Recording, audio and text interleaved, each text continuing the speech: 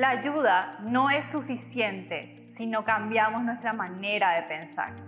Soy Analía Figueredo del Ministerio de Desarrollo Social y Misiones. Actívate de la Iglesia Más que Vencedores y te quiero compartir algunas ideas sobre lo que es renovar el entendimiento.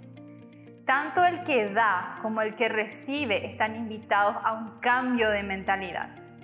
Nosotros al vivir el cristianismo tenemos que entender que no siempre es fácil recibir y no es fácil dar.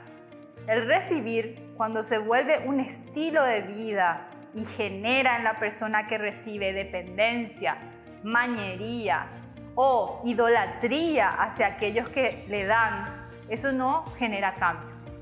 El dar requiere compasión, requiere intención y amor al prójimo. Soy responsable de mi motivación cuando doy, para que cambie realidades y pueda paliar necesidades momentáneas que creen apertura para que esas personas que están en necesidad encuentren opciones. Una vez más, una manera importante de, generar esa motivación correcta es unirnos a causas que ya están haciendo un servicio, como organizaciones, grupos o causas específicas que ya responden a una necesidad a través de una acción concreta con transparencia y con una motivación correcta. Tanto para el que da como para el que recibe es necesario un cambio de mentalidad.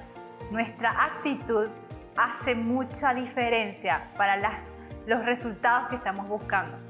Es necesario que esa actitud tenga empatía, humildad y amor y con eso vamos a generar cambios.